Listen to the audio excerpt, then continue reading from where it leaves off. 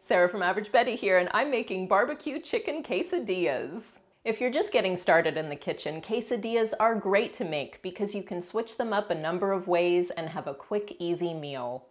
Get your parents' permission before you begin, and clean up your room for crying out loud. Let's make barbecue chicken quesadillas. This is a perfectly ripe avocado, and I'm going to make a simple guacamole. Hmm, hmm, hmm, some coarse salt, fresh pepper, and mash it up.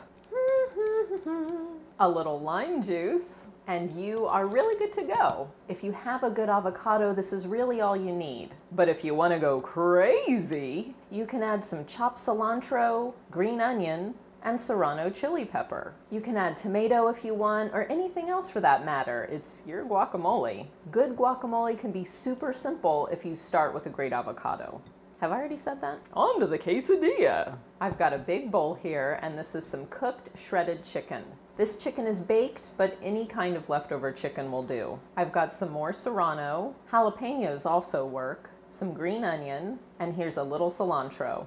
Get that combined, and here's some barbecue sauce. Don't go crazy with this stuff. You can always add a little more. Give this another good mixing, and here's some shredded jalapeno jack cheese. Because it's delicious! I like to mix everything together like this because it helps you get the filling in the quesadilla more evenly distributed. Assembly also goes a lot faster if you're making more than one. Okay, let's get cooking.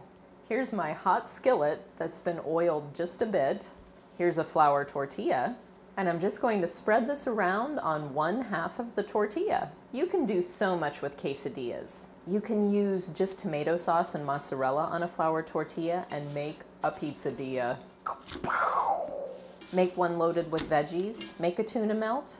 The key is just balancing the ingredients so you don't end up with an oozing, greasy mess, unless that's what you want. I'm not here to judge.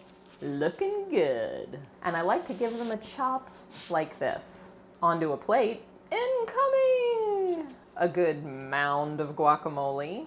Yes, that's the proper culinary measurement for guacamole. Way to go, kiddo. Get the barbecue chicken quesadilla recipe at averagebetty.com. So next time you want to give mom or dad a break, get their permission and make yourself a dang quesadilla. Thanks for watching and subscribing. See you next time. Mmm, barbecue chicken quesadilla.